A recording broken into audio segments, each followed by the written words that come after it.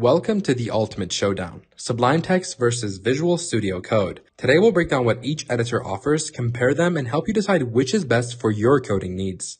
Let's dive in. Sublime Text is a lightweight, blazing fast text editor loved for its simplicity and speed. It boots up almost instantly thanks to its C++ core and uses minimal system resources. With a minimalist interface, it's perfect for quick edits and distraction-free coding. Features like multiple cursors, split editing, and the command palette make navigation a breeze. It supports tons of plugins via package control, but you'll need to install them manually. Its cross-platform costs $99 after a free trial and excels in handling large files. Visual Studio Code, or VS Code, is a free open-source editor from Microsoft.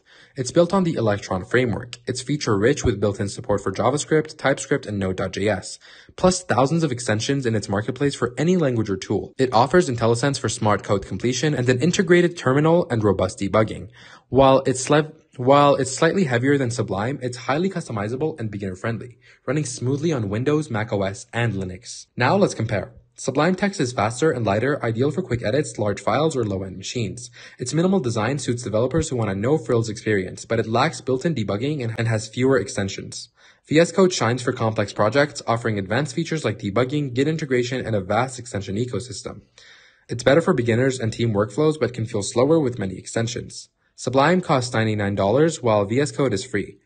So, which is better? Choose Sublime Text for speed and simplicity, especially for solo coding or quick scripts. Pick VS Code for feature-rich development, debugging, or collaborative projects. Check out our comparison chart below and let us know your pick in the comments. If you enjoyed this video, don't forget to like, share, and subscribe, and happy coding.